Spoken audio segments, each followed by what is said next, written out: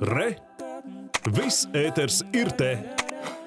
Pirms 200 gadiem šajā dienā Jelgavā iznāca pirmais laikraksts latviešu valodā Latviešu avīzes, kas ceļu pie lasītājiem mēroja 93 gadus.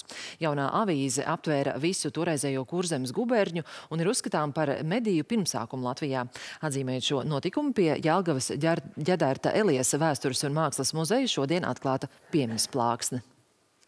19. gadsimta sākumā Jaugava nesot bijusi latviska pilsēta, tomēr ap akademija Petrīna pulcējusies inteliģents, tāpēc nesot brīnums, ka Kurzemes Vācu literatūras un mākslas biedrībā, kas tolaik darbojusies tagadējā ģedertelēs vēstures un mākslas muzejā, pieņemts lēmums izdot pirmo avīzi latviešu valodā. Arī pirmais latviešu avīzes redaktors bija Baltvācu mācītājs Kārlis Fridriks Vatsons. Vatsona mērķis bija kopt latviešu valodu, domāt par latviešiem, domāt par to, lai, lai viņus radītu par nāciju. Tā, tā viņš arī pateica. Un varbūt tas bija pats pirmais cilvēks, kas vispār ierunājās, ka latviešiem ir ne tikai tauta jāveido, bet ka latvieši ir jāveido par nāciju.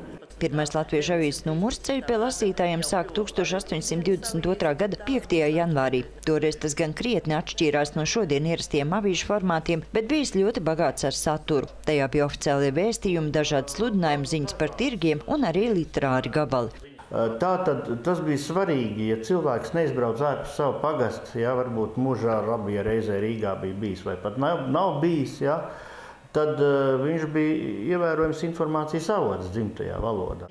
Kā RTV skaidroja Elijas muzejā, krājumā saglabājušies vēlāk laika oriģināli, kas iznākuši jau pēc Vatsona nāvis. Arī tolaik viņa iesāktais stils saglabājies, tomēr nākamie redaktori centušies mainīt saturisko līniju. Diemžēl viņi palika reakcionārāk uz uz ap šo laiku, kad mēs redzam šos laikrakstus, kad tie vācu mācītāji ņēma virsroku un centās atkal nu, uzspiest to savu līniju.